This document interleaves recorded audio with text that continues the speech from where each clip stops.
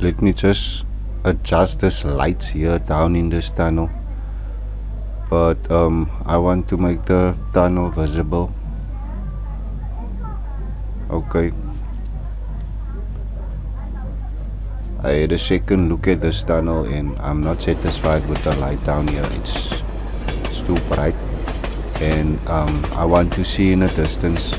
Okay. As you can see there I can't see nothing from a certain distance.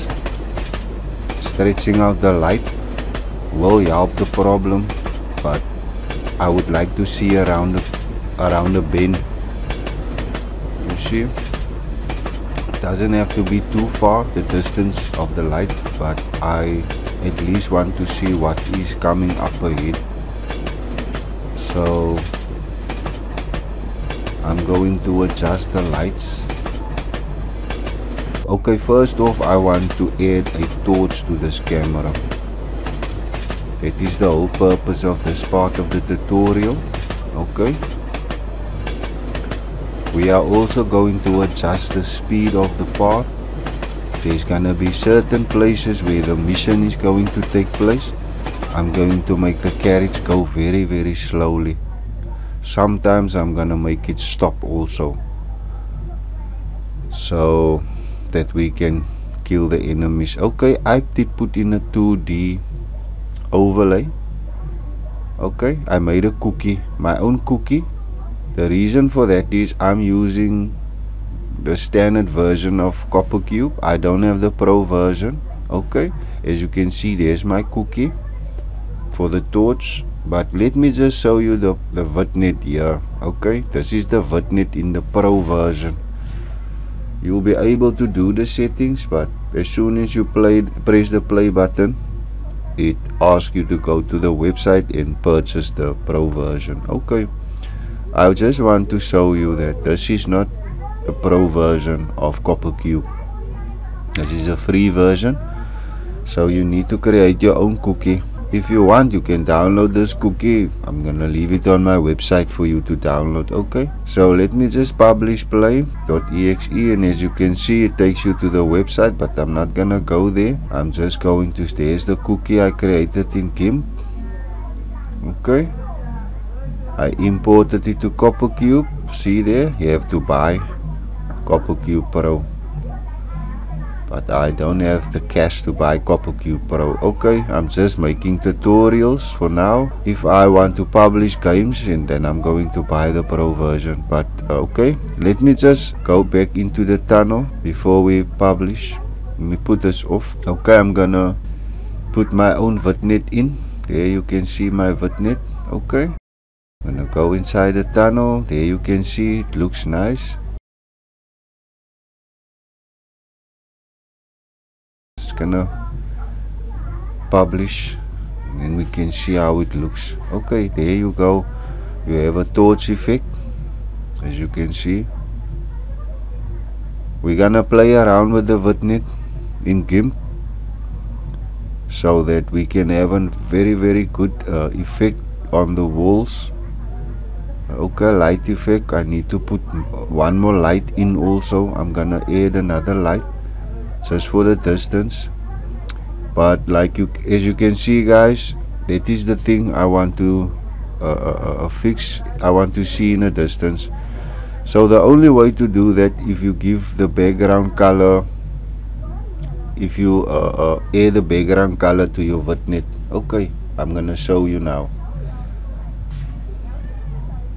now this is this is almost like the effect I want. As you can see you can see much deeper in the tunnel. Okay but um, I need to play around with the color. I know I need to play around with the color and it will come right. Okay but it's almost like a foggy smoky type of uh, atmosphere. Let me just make it darker. I'm gonna go darker. Okay light. Let's let's check how it's gonna look if it's a bit lighter I mean dark I think dark is better. You see there it's almost almost there. Doesn't look bad at all. I want the tunnel to be like a horror effect you know. Nice and creepy wet and cold. Okay just scale up this light. Okay yeah you see there you can see in the distance. Okay. I know we must just play around with the vignette and the color and the light and we'll have we'll have a nice torch torch effect. Since it's gonna be dark under in this tunnel we're gonna need a torch I wanted to put the torch in front of the weapon but um, then I need a spotlight script. That will be a JavaScript uh, JS I'm not fond of scripting so that's why I'm gonna create something that is more to a, a torch spotlight than to use a script. Okay so I, I'm satisfied with this type of atmosphere. The environment uh, it looks it looks much better. Okay I can see at least when there's any zombies or creatures or something lurking in front. You know I have a I have an opportunity to to shoot at them before they are all on top of me. Okay so I'm gonna leave it as such. I'm gonna use this as the torch. Okay. It's gonna be pitch black when you enter this tunnel. There's gonna be some light but very very little light and that is when you're gonna use your torch okay? As soon as you get into this carriage. Um, I'm not gonna use a carriage actually guys. I don't know what you call that stuff. It's like a, a trolley bin that stuff that comes out of the mine with the coals in. Like transports it also runs on a rail. Uh, okay when it goes into the mine coming out of the mine. Now you're gonna sit into that one of those stuff and you're just gonna drive around. You must actually survive you know. I'm gonna try to make the zombies jump from the platform on top of the on, on top of you. And that is when they like you know take some of your your health and stuff. So I'm gonna work on the vignette okay just reload and check. Oh that is much better. I love this vignette I'm gonna keep this vignette guys. This is how the torch effect is gonna look under in this tunnel. Okay. I hope you guys are satisfied with that if you have any complaints you can leave a comment in the comment box. If you have any tips on how to improve this uh, uh, uh, uh the track the physics whatever you think if you have an input you can leave it in the comment box. Okay. And if this video is helpful especially the the series please smack that like button. If it's your first time here subscribe to my channel for more videos like this one. Ring that bell notification icon so I can notify you whenever I upload more videos or the next part of this series. Okay my name is 3D Mesh Tutorials and I'm creating a project. It's a uh, tunnel a horror tunnel. It's a, gonna be a first person shooter. Okay you have to survive that is all you have to do. You're going to drive under in this tunnel killing zombies or creatures whatever your desire. I'm going to decide which type of enemies I'm going to leave in this tunnel. Perhaps I'm going to make some creatures spawn also okay? So all in good time. That's why you need to subscribe to my channel. Ring that notification bell icon. Smack that like button so that we can get acquainted and you can get more of my tips and tricks on how to create games. Um, let's put some bloom on this vignette I'm gonna up it more just to get a soft nice soft effect. Okay. I want the torch more bright brighter than the the light in the tunnel okay I'm just gonna replace that quickly Okay, we go to copper cube. And go to CopperCube and refresh, reload texture and play. There you go. You see there? The blue makes a very very big difference. There you go. There's the torch light. You're gonna see the weapon or the torch. It's gonna be there, it's gonna be visible. It's gonna be outside of the vignette, not inside of the vignette. Okay. I'm gonna clone this light. Let me just clone it. Move the one to the front. It's too much. This is the part where I'm going to give a, a, a torch effect on the wall as you can see there. It's a nice torch effect. Okay uh, but it's a bit too much. Mm, it's too much. Go to attributes bring it back a bit. Go to attributes the hierarchy. Mm, let me check something okay we're gonna go to the radius. I'm gonna put it on 15 and play and check.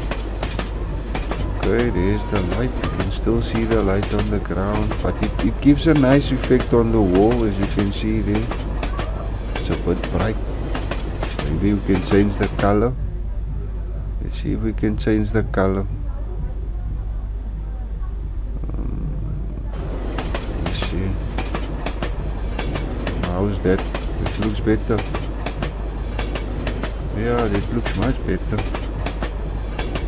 Okay. But I'm gonna play around with the lights okay? Just let me play around with the light a bit. Okay. It's almost there guys. You can see we have an effect there on the wall there's also a nice effect on the platform and on the track. It's not so bright. Um okay. Make it 15 again. There you go. That is nice. Now that I'm gonna leave it there guys. That is what I want. That is beautiful okay there you have your torchlight guys. As you can see I'm not gonna get it any better than that. Okay.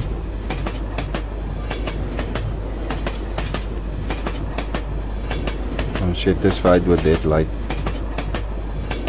my name is 3D Mesh Tutorials and I'm showing you how to create a torch I'm in a, a project or a, a tunnel project that I'm busy with FPS game.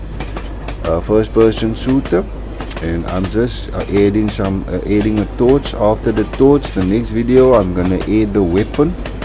And uh, I'm gonna make the weapon also shoot okay? So you need to subscribe. Ring that notification bell icon so I can notify you when I upload that video. You you don't miss it. I, I promise you guys it's gonna be awesome. I'm gonna make that uh, I'm gonna make that zombie. Chase this chase you chase the the character. And you're gonna shoot that zombie. Some of them are gonna stand on the platforms I'm gonna put one here and there. But I would like one or two of them to chase you. Okay to chase the, the, the, the player. Um, that is the torch effect guys.